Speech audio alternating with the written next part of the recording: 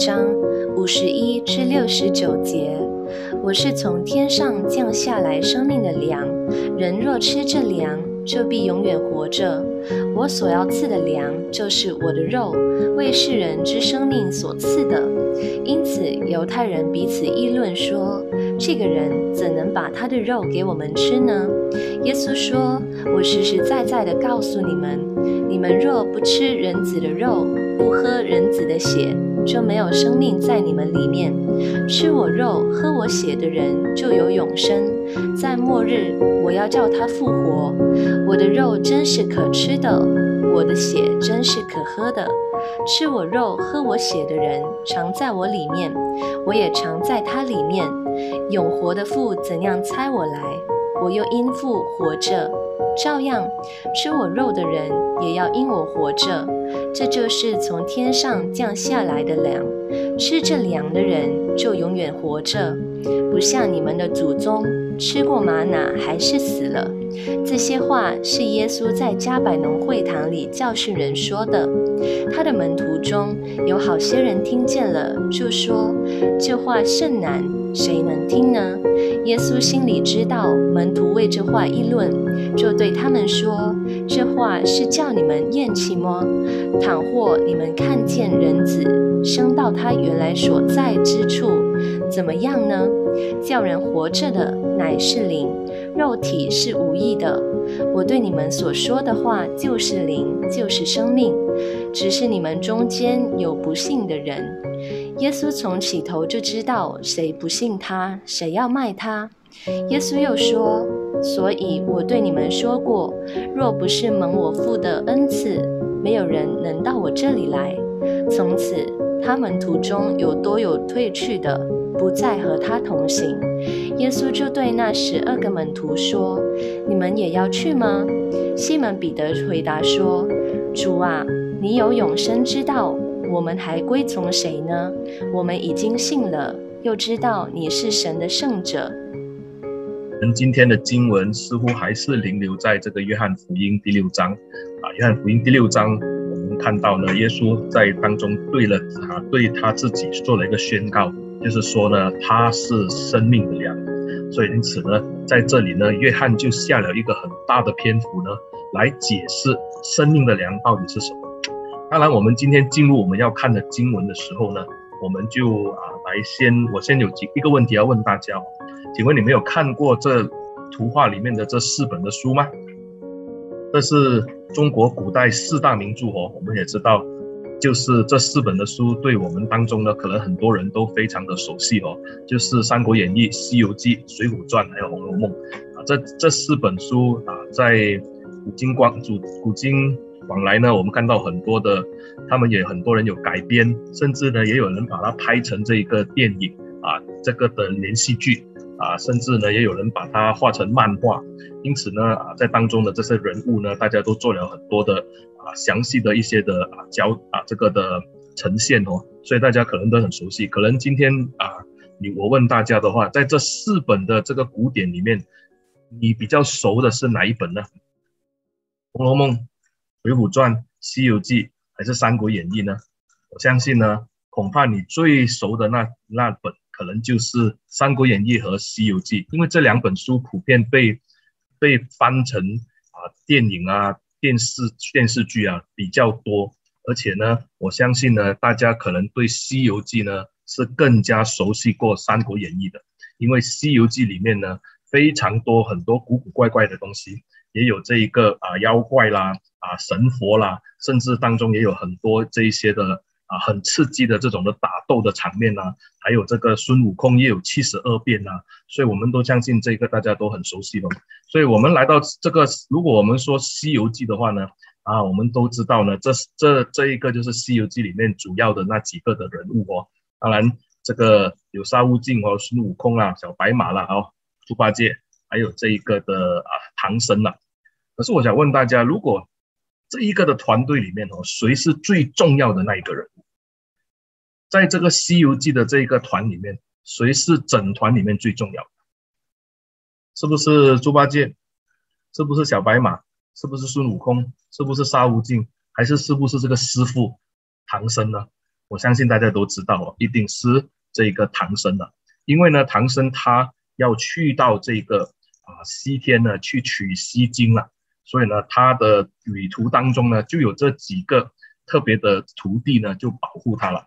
所以呢，孙悟空有七十二变哦，啊，小小龙马呢就是我们知道呢，它是由那个龙来变成的啊。猪八戒呢是啊，就是那个猪变的哦，就是这样子。所以他们这几个就彼此的保护，保护什么呢？保护他们的师傅，要确保师傅能够安全的到达。这个西天去取经，那如果这个的旅途当中呢，师傅若是啊，就是死了，这个的旅途就结束了。而且呢，我们也知道呢，很在这个的旅途里面充满着这么多的危险，都是因为有了一个师傅。为什么呢？因为呢，师傅呢，他的这个师傅呢，他的这个肉呢，据说吃了下去是长生不老的。所以呢，这一个的旅途的里面呢，很多的妖魔鬼怪呢。都打他的师傅的主意，所以呢，都想尽办法想要引诱，我想要想要去打，就是去抢这个师傅，甚至引诱这个师傅，甚至想办法去毒害他们，就是要把这个唐僧的肉呢拿过来，然后他们可以品尝一下。因此呢，吃了这个唐僧肉呢，他就可以长生不老了。所以，因此我们知道呢，这个的旅途的里面。因为唐僧的肉是吃了长生不老，所以大家都要吃，所以大家都想吃，大家都要来抓他来吃。所以孙悟空呢、猪八戒呢，他们就要保护了。哇，这个的旅程充满着刺激哦。所以今天弟兄姐妹，如果我要给你吃唐僧肉的话，你要不要？吃了会长生不老啊？就讲说，哎，那个只是一个小，那个只是一个的一个啊一个的比喻啊，一个故事里面是的啊。我们看到呢，今天呢。在这个时代了，二零二一年或者是这个二十二十一世纪呢，哎，他的徒弟果然两个人呢跑出去卖，把他的师傅杀了，拿去卖他的肉了。所以呢，就在中国的一个一个街头小吃，他就卖起来，就十块钱人民币就吃六串了，所以就吃唐僧肉了，因为吃了会长长生不老。当然，这个我们知道是开玩笑啦，因为呢。这个就是他们啊，中国的一些一些的百姓呢，就想到这个的啊，这个的故事呢，就用这样的一个的点子呢，来做了这个的摊位呢，就来做一些的噱头了，就卖唐僧肉，就据说吃了唐僧啊长生不老，所以很多的百姓都跑去吃了。所以呢，我们看到呢，现在呢啊很火爆哦，二零一四年开始卖，甚至呢，你现在还可以到淘宝里面呢去买这个唐僧肉回来吃哦啊，还有唐僧的肉呢十。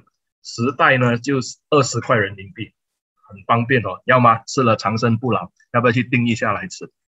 吃唐僧肉会长生不老。今天我跟你讲，吃耶稣的肉会永生哦。你要不要？好吃吗？要不要一起来吃？所以今天我们要看的经文就是要看这一段哦。这一段就是耶稣他更加的详细说到这一个生命的粮。啊，约翰福音六章五十一节到六十九节是今天我们的这个福音书的这个的经文哦，啊，我就不念了哦，这个很长。不过呢，如果你去看这段的经文的里面呢，耶稣他在当中呢描述他自己的时候呢，他讲到那个血跟肉呢是可以拿来吃的啊，这个就很难了。为什么呢？因为我们看的时候我们就看不懂了，而且当时的百姓更是觉得说很困扰，所以因着这一句话以后呢，很多的人呢就离开了耶稣。好，我们就来看今天这段经文。啊，今天的这一段经文我讲过，和上两上两周我都讲过。他这整个的教导呢，从这个约翰福音啊第六章呢，几乎整章呢都是因一件事情开始。这件事情是什么呢？这件事情就是五饼鳄鱼的神迹了。耶稣在这个旷野的时候，他就因为百姓很多跟从他，他服侍他们到一个地步的时候，天色已晚，然后百姓肚子饿了。所以这个时候呢，人数又多，耶稣向门徒说：“啊，就是索取这个食物来喂饱这个门徒的时候，门徒他们当中呢，就只能够找到这一个的啊，这个小朋友的一个便当，就是五个五个大麦饼和两条小鱼了。所以耶稣就用这个五个大麦饼和两条小鱼呢，就喂饱了最少有五千个男人的一个的聚会。所以呢，这个五比二的神迹呢，就引发了后面的这些的事情，以致耶稣要针对这一件事情大。啊，带出来的一个的果效呢，来讲解清楚，他不要这一些跟从他的百姓呢，对他有误会，甚至呢对他的整个的形象产生了一个错误的概念。所以耶稣在这个时候呢，就借着这一个的五饼二鱼的时候呢，他在后面就借就想这个，他就说了一大段哦，就是在解释关于这件的事情。好，我们从五饼二的神迹，我们去理解到呢。结果就有一大群的人呢，就封耶稣了。当他们吃这个饼吃饱了以后呢，看到不只是我们看到是不只是那一个饼啊，可以喂饱他们的肚子，甚至呢剩下来的零碎啊，还可以装满十二篮。所以哇，这样子的话，这些的百姓看到真的是非常的惊讶，因为在那个时代，百姓不要讲说吃得饱，他们有没有的吃还是一个问题，因为在那种在罗马帝国镇压，还有在这个啊。人民的生活贫困的情况之下，能够有的吃，已经是一个很幸福的事情。这个时候，这大群的人跑到山上，跑到这个的旷野地去听耶稣的讲道。听完以后，在又饿又渴，然后呢，在天色已晚的情况之下，耶稣竟然可以用一个小孩子的便当来喂饱他们的时候，这群的人就开始封耶稣了。他们封耶稣的时候，我们就看到了六章十四到十五节的时候，他们就跟他们就。看见耶稣的神迹，就说这是这个是要到世间来的先知了。然后呢，他们要强逼他做王。然后呢，我们看到耶稣呢就没有就这些人的要求而顺应他们，就成为他们的王，或者成为他们当中的先知。这个时候呢，耶稣就独自退到山上去了，他就离开了他们。所以我们就看到呢，这群的人呢，他们因为吃过以后呢。哇，真的是食过翻成没啊！啊，广东话这样讲哦，就是呢，有更大群的人呢就追星了。因为什么呢？因为之后那五千个人呢，他们回到去自己加利利地，这个事情就传开。所以传开了以后呢，你可以像看到经文接下来二十二节到二十五节这边，就有一些的人呢，可能是没有在那边吃的，或者有一些人吃过的。所以这个时候呢，他们就结伴呢。就赶快的赶去耶稣的那个的聚会所了。为什么呢？因为那边有的吃嘛。所以你看到这段经文这边讲呢，有人就从这个提比利亚来，然后呢，提比利亚跑去找，跑去博塞大找这个耶稣的这个的地方找不到。后来呢，就大概猜说耶稣应该会在加百农，因为耶稣在加百农那边呢是有一个的根据地哦，所以他们就怎么样呢？他们就后来就从博塞大再跑到这个加百农去找耶稣，在海边那边找到耶稣的时候，就说拉比，你是几时到这里来的？他们这一群人啊，就好像以前或者是现在哦，如果一个大明星啊来的时候呢。啊，现在就不能了，因为现在疫情哦。如果没有疫情的话，你看到那个明星哦，特别是韩国的那些明星来的时候，你就看到这些少女们呐，哇，在机场那边哇拿布条啦，或拿这些的灯光啦，哦，又喊又哭又叫啦，啊，全部去追星，跟这一群人差不多，跟着跑，跟着去，就是要去追星。所以因此我们就看到呢，其实在这里要讲到，就是耶稣他不是明星。所以耶稣就跟他们解释说，他并不是明星，所以基督徒不需要去，不就基督徒也不是粉丝哦，所以你不用去追星，因为这个不是耶稣所要的。所以因此怎么看到呢？因为这些人他们吃过五饼二鱼，他们得到这个的吃过饱足过的以后呢，他们就开始什么呢？他们就开始。去追耶稣，其实是为了免费的食物。所以耶稣在这个二十六节就讲了哈，就上个礼拜我们讲到有讲过的，就是他说什么呢？他说我实实在在的告诉你们，你们找我不是因为见了神迹，乃是因为吃饼得饱，所以是为了食物他们来吃。所以耶稣不是 all you can eat，而不是好像我们 S two 的榴莲档这样哦，吃到你饱哦，给一笔钱就吃到饱。所以呢，基督徒不用，更不是为了吃而活。所以有人不是这样讲吗？我们的我们的一生就是为了吃而活，我们活着就是为了吃。弟兄姐妹，我们看到这段的经文，耶稣就清楚的告诉我们，人生不单单只有吃而已，他还有更多的事情是更加的重要。好，不是耶稣不是榴莲档里面的榴莲，让你吃到饱，不是 all you can eat。所以耶稣就对他们说什么呢？我就是生命的粮。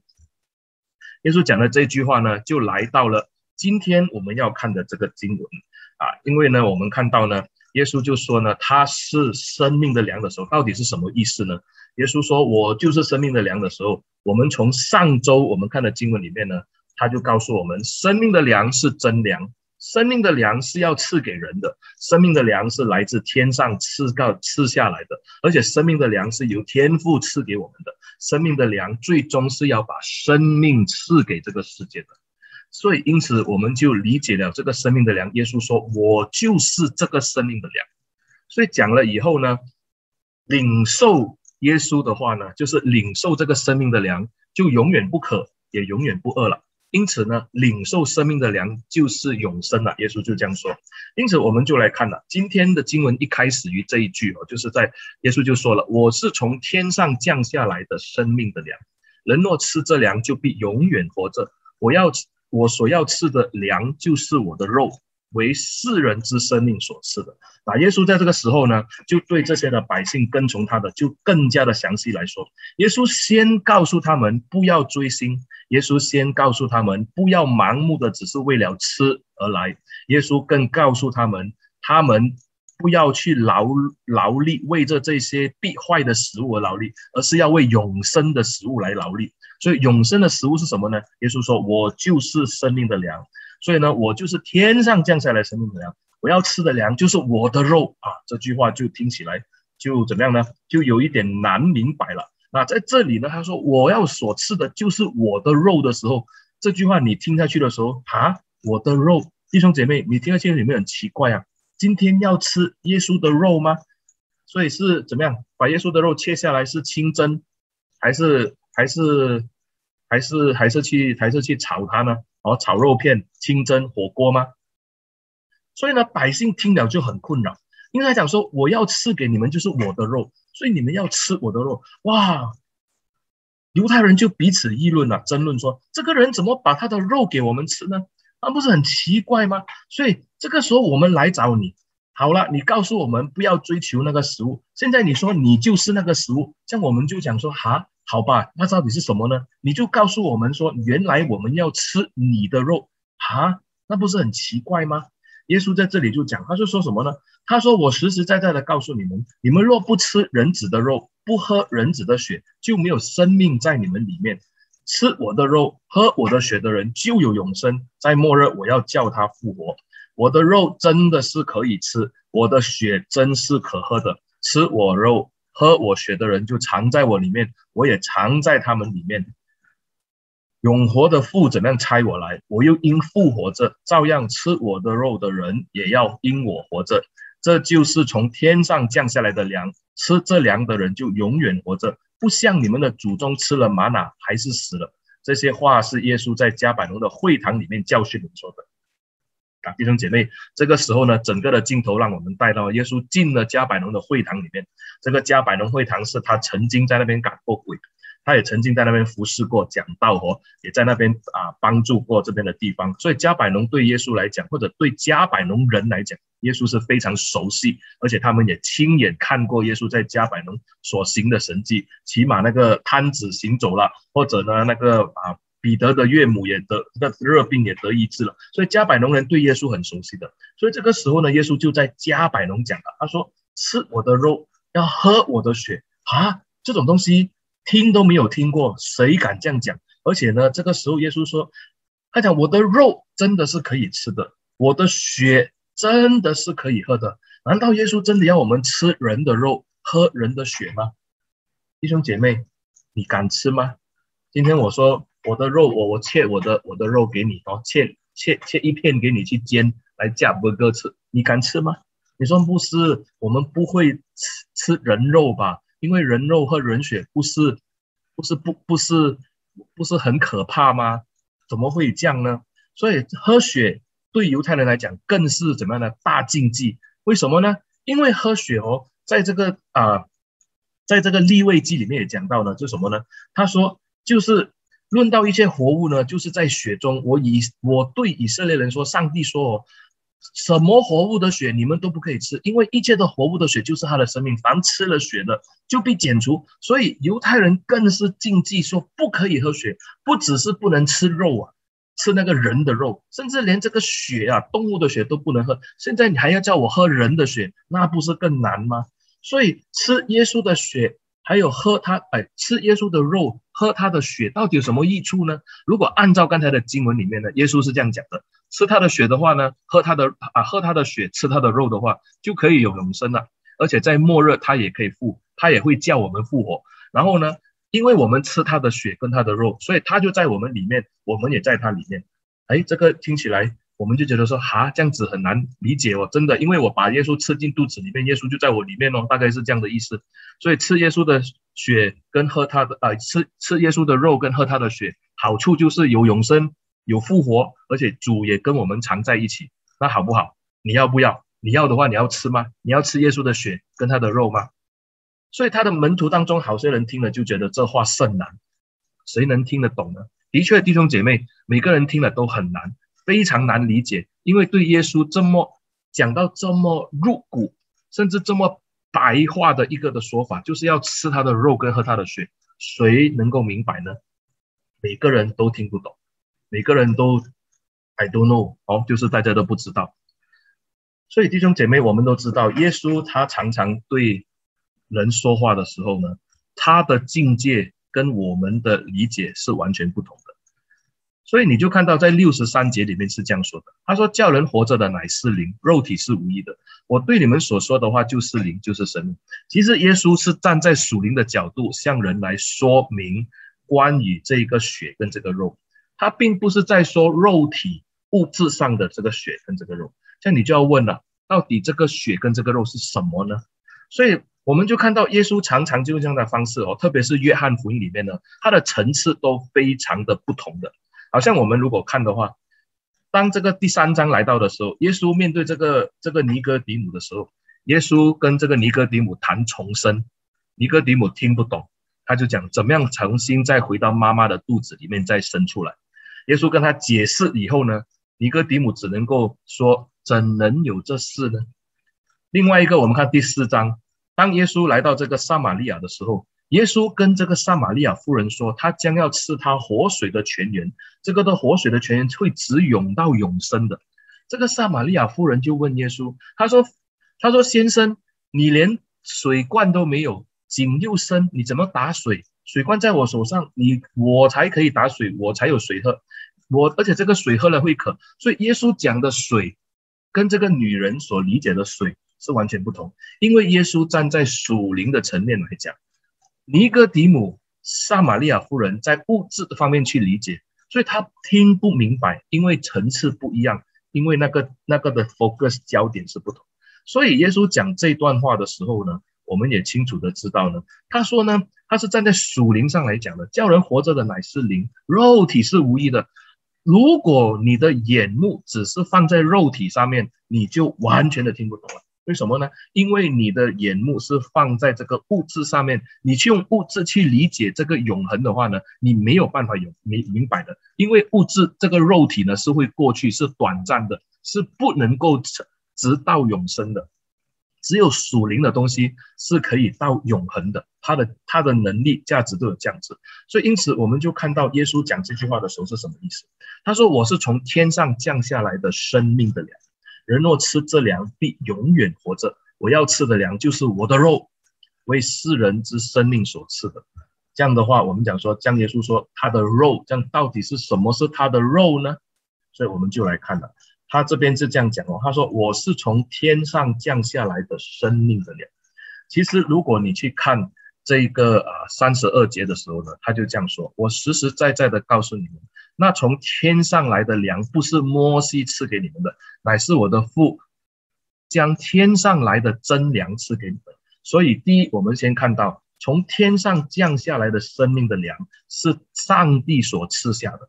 所以，上帝就赐给了人有这一个生命的粮，而这个生命的粮是什么呢？耶稣说：“我就是生命的粮。”所以，耶稣说我就是生命的粮的时候呢，也就表示说，上帝在天上赐下了耶稣给了我们，然后呢，我们领受的人呢，就是什么呢？就是领受耶稣的人。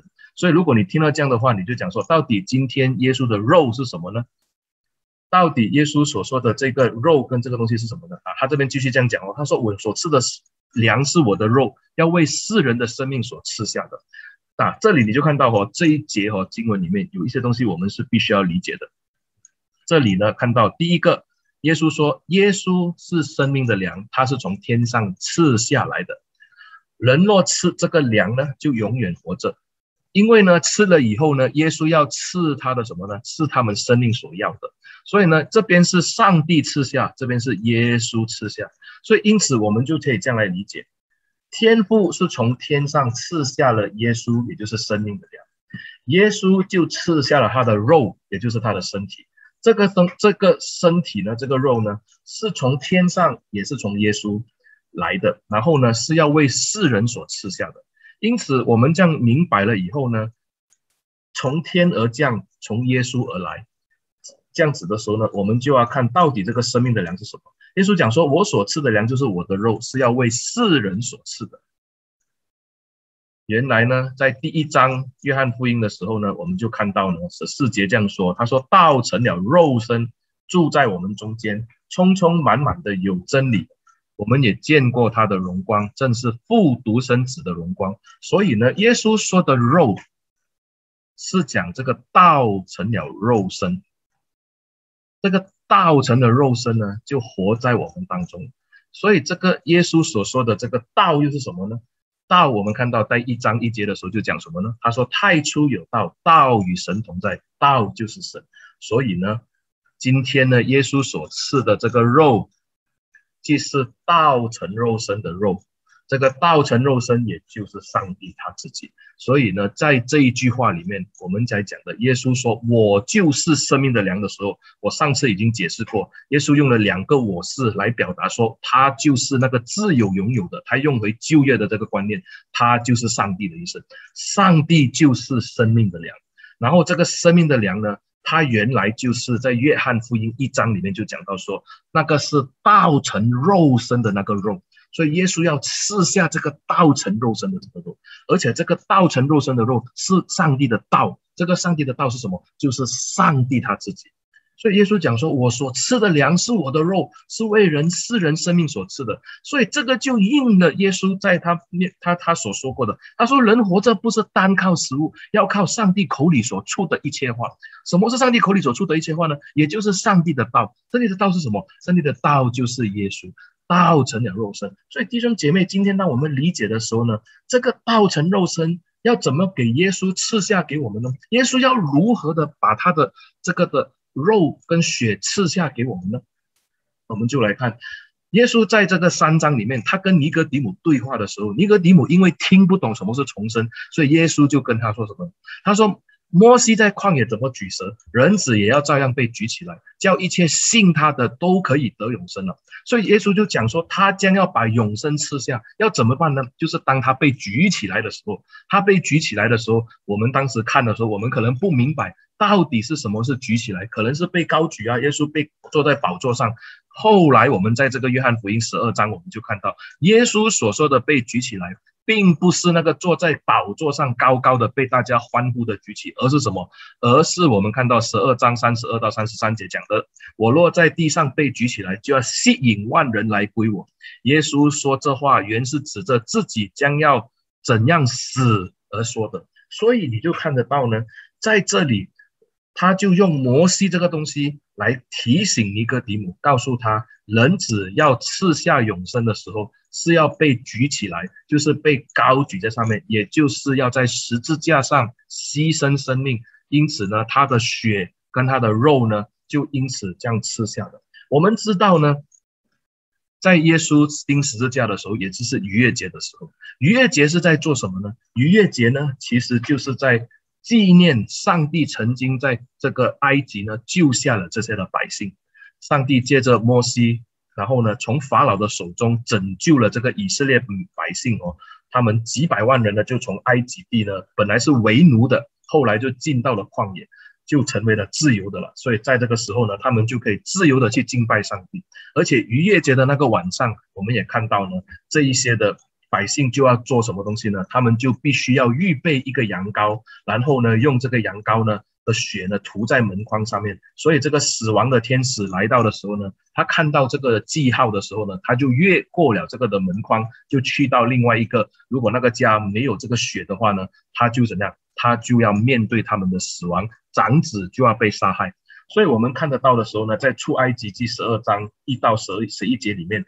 这边呢，就是上帝告诉他们百姓要怎么样预备这个逾越节。这个是第一个逾越节，这个是上帝的吩咐。他说，本月初十日，个人要按照富家取羊羔，一家一只。然后呢，他讲说，这个羊羔呢是要无残缺一岁的公羊羔，你们要从绵羊里面取，也可以从山羊里面取，都可以。然后呢，十四日的时候，在黄昏的时候，以色列全会众要把羊羔宰了，各家要取点血涂在羊羔的。房屋啊，左右的这个门框和门楣上，晚上当夜要吃羊羔的肉，要用火烤了，并且要用无酵饼跟苦菜同吃，不可以吃生的，断不可以吃水煮的，而且要怎么样呢？要带着头腿五脏用火烤了吃，不可以剩到一点到早晨。看得到吗？在这里呢，就说不只是要杀这个小羊羔，涂它的血，甚至要吃它的肉。所以这句话，当你听的时候呢？耶稣就讲，他说什么呢？那个吃我肉、喝我血的人就有永生，在末日我要叫他复活。其实耶稣在讲什么呢？耶稣是在讲这个拯救的灵道，耶稣是在讲这一个逾越节的拯救。他们曾经在这个埃及吃过这个逾越节的晚餐的时候，今天耶稣在他们的百姓当中，他也要为这个百姓赐下他的血跟他的肉，因为他就是上帝的羔羊。为世人所赐下的。如果你看到的话，这边就讲什么呢？吃人子的肉是什么？表示说我们凭信心去接受耶稣舍去的身体和成就的一切；喝人子的血也是凭信心去接受耶稣流血所成就的一切。这两个东西是什么呢？他的肉跟他的血，就是在耶稣的十字架上所成就的救赎大恩了。所以今天弟兄姐妹，耶稣说吃我的肉跟喝我的血的时候，他是在讲这一个的方面。因此，当我们领受跟相信耶稣的拯救，也就是他在他的这个肉身跟流血上面拯救我们的这个事情上，我们就怎么样呢？我们就要复活了。所以，摩西怎样在旷野举蛇，人子也要照样被举起来，叫一切信他的都得永生。所以信耶稣是信什么？信耶稣为我们死，信耶稣为我们复活。所以信他的都得永生了。所以因此我们看下去的时候，约翰福音三章十六节就这样，我们都很熟悉了。就神爱世人，甚至将他的独生子赐给他们，叫一切信他的不至灭亡，反得永生。因为神差他的儿子降世，不是要定世人的罪。乃是要叫世人因他得救，信他的人不被定罪，不信的人罪已经定了，因为他们不信神独生子的名。所以弟兄姐妹，这里他是在讲什么呢？耶稣要赐下他的血跟他的肉，是要纪念这一个新的逾越节，这一个新的拯救的领导，就好像这个逾越节的羊羔在逾越节的晚上要被宰杀，血要涂在门框上。肉要拿来给全家人分来吃，所以呢，耶稣说：“吃我的血，哎，吃我的肉，喝我的血的人都会得到永生了。”因此呢，这一句话讲出去的时候，我们就看到他的门徒中有好些人听见，就觉得这话甚难，谁能听得懂呢？的确，没有人听得懂，不止听不懂，为什么呢？因为当时的百姓，他们为什么去搞跑去跟随耶稣？他们跑去跟随耶稣，是因为第一，我们看到。在之前，我们也看到经文是这样讲，他们是说有先知了，他们要先知，他们要有宗教的这种满足，宗教性的满足，他们甚至要把耶稣做完，他们要政治上的满足，希望耶稣可以带领他们推翻罗马政府，好像马加比王朝，好像所罗门那样，好像大卫王那样，曾经一度在这个迦南地这边的立国，然后呢，在这个地方打就是。就是在那边可以成为一个富强的国，然后上帝成为他们的神，甚至他们要吃，为什么呢？因为吃的吃的饱足啊。所以耶稣说：“你不是因为要看了神迹才来找我，你们是因为吃饼得饱。”所以这些都是百姓所要的。这个弟兄姐妹，我们看下去的时候，今天我们在问我们自己：如果你的眼目只有吃，你的心里只有物质的话，你一定是听不懂耶稣所讲的话，因为耶稣讲他的肉跟他的血的时候，你的眼目里面就是什么呢？你的眼目里面就是吃啊，怎么样去煮耶稣的肉要怎么样啊？怎么样去怎么样去喝他的血？喝血不是不洁净吗？还要喝耶稣的血，要吃要吃他的肉吗？所以我们听听不懂，他们听不懂，是因为眼目里面都放在物质上，都放在现实上，都放在俗世的里面。可是耶稣讲的是属灵的，耶稣讲的是永恒的，耶稣讲的是属天的，当然听不懂，也不想懂。所以耶稣讲的吃我的血，喝我喝我的血，吃我的肉的时候，他是在讲说，他就是上帝的羔羊，是为世人所献上的。他借着他耶稣基督的身体为我们代赎，然后我们的生命就因耶稣的这个肉体的舍去流出的血呢，而得到新的新的盼望。我们听懂吗？我们听不懂。今天弟兄姐妹这一段经文，常常如果我们拿来看的时候，我们也常常觉得似懂非懂。我们今天。看起来的时候，我们也好像不太知道，要只要吃他的肉、喝他的血是什么意思呢？其实从属灵的眼目来看的时候，你就明白。结果这些听不懂的人会怎样呢？你就看到耶稣就知道这些人就看了以后，他们就觉得不能够明白，所以耶稣就知道门徒为这些话而议论，就对他们说：“这叫你们厌烦吗？哎呀，这这话叫你们厌弃吗？倘若你们看见人子升到他原来所在之处，怎么样呢？叫人活着的乃是灵，肉体是无益的。”我对你们所说的话就是灵，就是生命，只是你们中间有不信的人。所以呢，接下来讲什么呢？耶稣从起头就知道谁不信他，谁要卖他，所以当中也包括了那个要卖他的犹大。所以在这边，耶稣又讲什么呢？所以我对你们说过，若不是蒙我父施恩的，没有人能够到我这边来。所以耶稣就讲了，他说：你们当中真的是不明白吗？听不懂吗？为什么呢？因为眼目就是放在肉体上，眼目就是放在物质上，眼目就是放在这个属世的政治、属世的权柄、属世的东西上面。难怪你听不懂，难怪你摸不着，难怪你得不到永生。因为呢，你还是把眼目放在吃跟喝、吃喝玩乐哦。所以这个就是今天耶稣重新一次把我们的焦点拿去，让我们看到一个新的看见。所以弟兄姐妹。当我们今天看到这个的时候，我们就看到约翰福音三章已经很清楚的讲，这个是对尼哥底母所讲的，今天也对我们每个人讲。他说：信他的人不被定罪，不信的人罪已经定了。他们不信不是因为不明白，他们不信是因为什么呢？因为他们怎么样呢？他们不爱光，倒爱黑暗，定他们的罪就在此。凡作恶的就恨光，不来救光，恐怕他的行为受责备。那行真理的必来救光，显明他们所行的是靠神而行。所以耶稣说：“难怪。”他说呢：“到我跟你们说过，若不是蒙我父的恩赐，没有人能够到我这边来。所以因此就有两群的人，有一群的人是拒绝耶稣的，因为他们不要耶稣，他们恨恶耶稣，他们讨厌耶稣，因为呢，他们的罪会被显明。另外一群的人呢，是爱护。”爱慕耶稣、喜欢真理的，他们就来救光。所以，因此呢，他们都什么呢？上帝讲说，这都是上帝所恩赐、所赐福的，都是靠着神而行的。因此，我们看到的时候呢，从此门徒中间有很多退去的，不再与他同行。弟兄姐妹，刚才我们看路加福音的时候，五千个人吃饱，全部拥戴他做王，要把他当明星，要把他当皇帝，要把他当成那个、那个、那个什么、那个偶像来崇拜。大家都要拥戴他。耶稣清楚的明白他们不明，他耶稣清楚的知道这一些的人来跟从他，他们的心意都是什么呢？都是为了吃，为了喝，为了这一些属世的权柄，而真正不明白耶稣要做的这个属这个这个救赎的工作。所以因此呢，这一些的人，那些浩浩荡荡，那一些追星的这些的粉丝们呢，从此就很多退去的了。五千的人慢变四千、三千、两千，慢慢的越来越少，越来越少，就离开他，不再跟耶稣同行。刚刚吃过了五饼二鱼，上一个厕所就没有再有五饼二鱼，肚子的东西就干净了。所以耶稣说，不要为这那个必坏的食物而劳力，要为这永恒的食物劳力。所以你的眼目一直看着这个今世的这些的福乐的时候，你永远不明白什么叫做永恒。所以他们就离开了耶稣。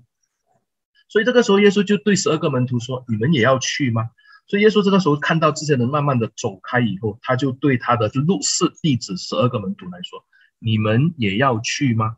就问了他们一个关键的问题。其实这个的问题呢，当然我相信呢，也是当时约翰他来向这些的读者来询问的，就是当时看约翰福音的这些的基督徒们，他也是问这句话。耶稣也问他说：“你们也要去吗？”如果今天来到我这里，耶稣没有给你吃五饼二鱼的话，你还要来吗？如果今天来到耶稣那边，你没有得到那个，你没有把耶稣没有做完，耶稣也不是先知，你还要来吗？耶稣清楚的知道自己将要做什么，他将要把他的生命舍去，他将要把自己的宝血流出，他的肉跟他的他的他的血，就好像那个逾越节晚上的羊羔一样，要被宰杀，要被涂抹，要怎样呢？要被吃下肚子。耶稣就问他的门徒说：“你们也要去吗？”这里呢，我们看到呢，门徒的回答就相当的满意了。西门彼得就很就回答说：“主啊，你有永生之道，我们还归从谁呢？我们已经信了，又知道你是神的圣者。”这句话就让我们看见，这就是一个相信耶稣的人，他明白了耶稣的话。今天把彼得就知道了。因为耶稣说，当你信了以后，你就有永生。什么是永生呢？在末日的时候，耶稣会叫你复活。因此呢，我们就看到了，在这边彼得就说：“主啊，你有永生之道，我们还归从谁呢？只有你才是我们要跟从的。我们信了你，我们知道你是神的圣者。所以，亲爱的弟兄姐妹，今天这一段的经文好像他给了我们一个开放式的问题。耶稣有两个的问题要问说。你们也要去吗？你要留下来跟从我，还是你今天好像这些的这些的百姓一样，追星看到原来没有这么热闹，原来也没有他想象中的那样的满足自己哦，在肉体上满足不了，在感情上、情绪上完全不能够满足的时候，他们也开始什么呢？那个热潮就慢慢的退下，然后呢，就慢慢的离开耶稣，一个一个的走掉。耶稣说：“你们也要去吗？”彼得抓紧了耶稣的这个机会，说：“主啊，你有永生之道，我们还跟从谁？”今天同样的话语也向我们来发问。今天弟兄姐妹，我们知道耶稣是生命的粮，耶稣是生命的粮，他将要赐给我们的生命是那永生的生命。当然，我们在当中要理解的这个永生的生命是超乎了物质上的享受。可是今天有很多的基督徒。我们恐怕信耶稣，我们就是要得到一些什么才信。所以，我们今天看到有很多这样的这些的啊，这个的什么口号哦，信耶稣上天堂，信耶稣得永生，信耶稣有平安。弟兄姐妹，耶稣没有告诉你说信耶稣上天堂这个东西。耶稣今天问的就是：我就是永生，我就是什么呢？我就是那永恒的道。今天。在你的这个人生有限的年龄的当中，你愿不愿意接受它？你愿不愿意抓住这个机会，领受这个救赎？因为上帝在几千年前曾经怎么样呢？借着摩西，借着这个羊羔的血，拯救了这个以色列人，从埃及地为奴的，到了这个迦南地这个牛奶与蜜之地。今天。上帝也借着他的儿子耶稣基督，从这个罗马的镇压，从这个宗教的这种的腐败哦，就是这个当时的圣殿，所以在当中呢，上帝就解解放了这些的这些的门徒们，借着耶稣基督的这个的复活，让这个门徒被圣灵充满，而开始了新的圣殿。今天也是一样，来到我们面前的时候，像耶稣也要问：今天你要永生吗？你要吃它吗？今天耶稣的肉不是唐僧的肉，吃了长生不老。今天耶稣的肉跟他的血是永生之道，你愿不愿意得到呢？我盼望你能够选择，好像彼得一样。主啊，你有永生之道，我不跟从你，还要跟从谁呢？